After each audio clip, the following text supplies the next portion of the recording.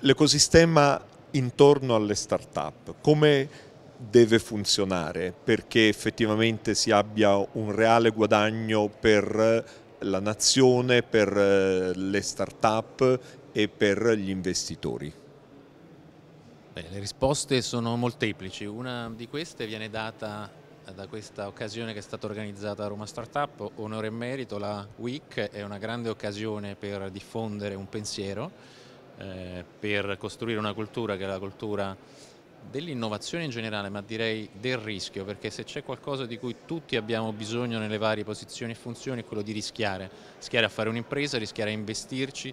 rischiare a cambiare eh, per una grande impresa, eh, ricorso molto il tema dell'open innovation, eh, ciascuno di noi lo fa eh, da eh, posizioni diverse, ma se eh, la nostra società il nostro mercato ha bisogno di qualcosa oggi è proprio questo, di rischiare e di rischiare a cambiare, il che vuol dire di rischiare a fare qualcosa di buono. Stamattina c'è stato il panel sulla Open Innovation. Io ho sentito grandi compagnie parlare di grandi progetti, ehm,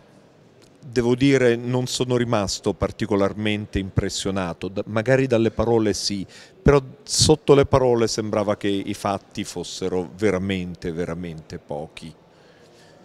Anzitutto eh, il, le, le grandi aziende italiane, perché oggi abbiamo seguito loro soprattutto,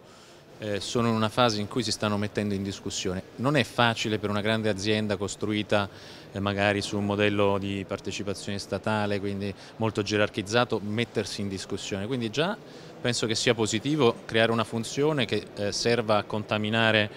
eh, il pensiero e, e, a mettere in discussione le singole eh, eh, funzioni di responsabilità. Eh, questo per dire che cosa? Che le soluzioni spesso possono trovarsi all'esterno aprendo un pochino i recinti della propria azienda a che cosa? All'idea che eh, si possa fare qualcosa diversamente da come lo si è sempre fatto nel momento in cui eh, magari si è sviluppato il prodotto migliore del mondo ma il mondo intorno a noi gira a una uh, velocità di rotazione sempre più veloce quindi è importante non perdere eh, eh, il passo con il resto del mondo quindi un fatto in sé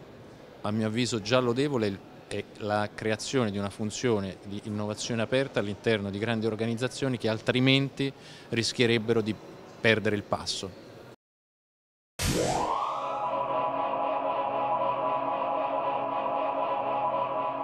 Stop.